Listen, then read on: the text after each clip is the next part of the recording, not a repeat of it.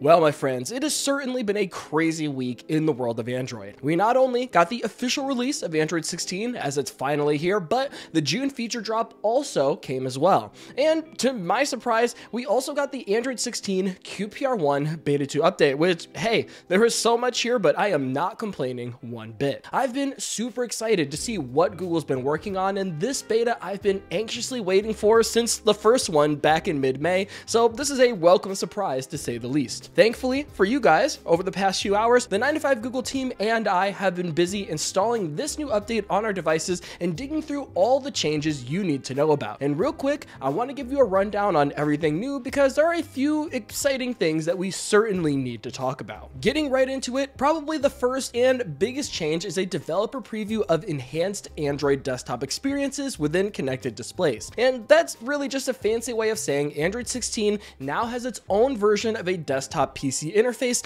a lot like we've seen with Samsung DeX in years past. What makes this so interesting actually is that Google is making a point saying that they are collaborating directly with Samsung using DeX as the foundation for this enhanced desktop windowing experience.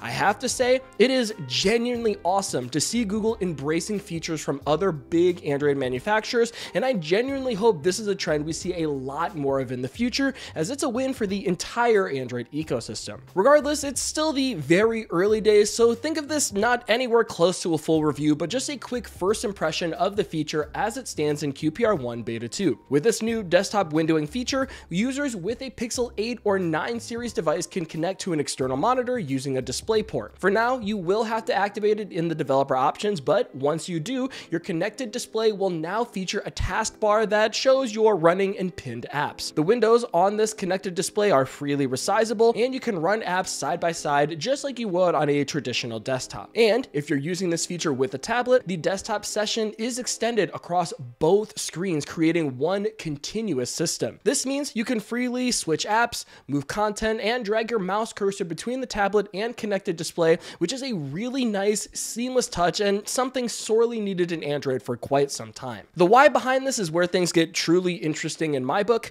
Keep in mind, I'm trying to connect the dots here, but I do think this has a lot to do with Android's big push for adaptability within apps as of late. At Google I/O, they've been seriously pushing developers hard to start building their apps for both phones and large screen devices, and implementing this feature is a really good way to incentivize them. To me, if I were a developer, knowing my large screen apps will now be used on smartphones in this new desktop environment is a huge deal.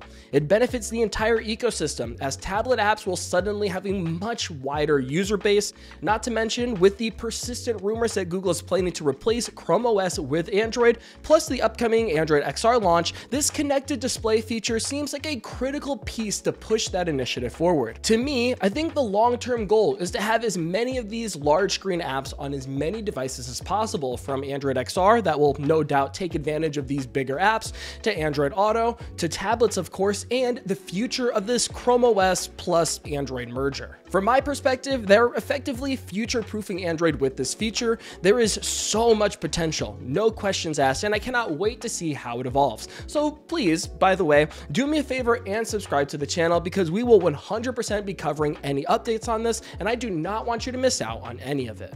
So, desktop windowing is by far the biggest new feature you should know about, but like with all these betas we cover on the channel, there are always a few smaller changes you can look out for. For one, Google did some general polishing of the Material 3 expressive UI. The sliders in general got a bit of a tweak, as we now have some slightly altered icons for some of the UI elements, and now most, if not all of the identifying icons are moved to the far right of these sliders. This is most noticeable with the brightness and volume sliders in particular, which now also have a subtle animation plus a little color theme change when you go to full volume for those icons. There are also new sliders throughout the sound and vibration section of the settings menu as well, and actually the sound and vibration section as a whole has been somewhat redesigned. They've grouped together some options that seem to be related to each other, which is a nice little touch for organization. I should also mention they adjusted the storage bar to show the thicker new Material 3 aesthetic, kind of adding to the changes I mentioned a moment ago with the the brightness and volume slider bars. Another small change is that there is now more vibrant theming in the media player,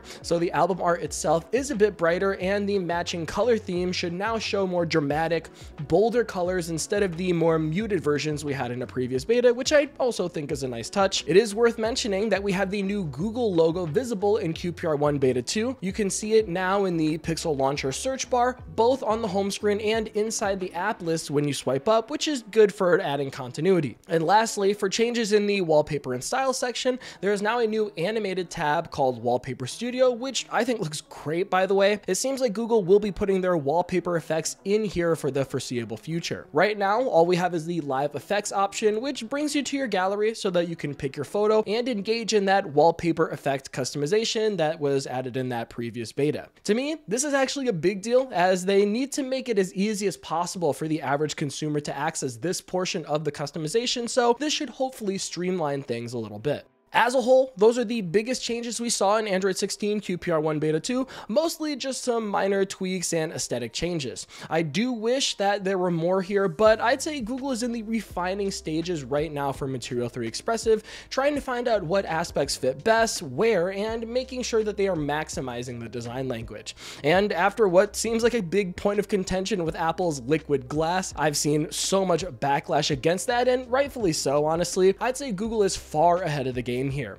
I don't think they'll have to do any sweeping changes or big overhaul like Apple most likely will have to do. From here on out, it's more about tweaking Material 3 Expressive in the core operating system to get it to a state of perfection, so ultimately, I'm excited to see where things go from here. Also, I should mention that it was reported that there are a few bug fixes in this update as well. There's a fix for Auto Dark theme not working, now playing crashing when selecting a track, the camera frequently failing to launch, shortcuts for newly downloaded apps not being automatically added to the home screen, the home button not working on the app list UI, the more wallpapers button being misaligned in the wallpaper settings, and Gemini failing to work on the lock screen. These are all little small bug fixes that should make the experience a lot smoother. Right now, I'm currently not daily driving a device using this new Material 3 Expressive update yet because I want Google to iron out all the kinks, but after this update, I might consider. But with all that said, I'm gonna leave it over to you guys now. I would love to hear your thoughts on this update.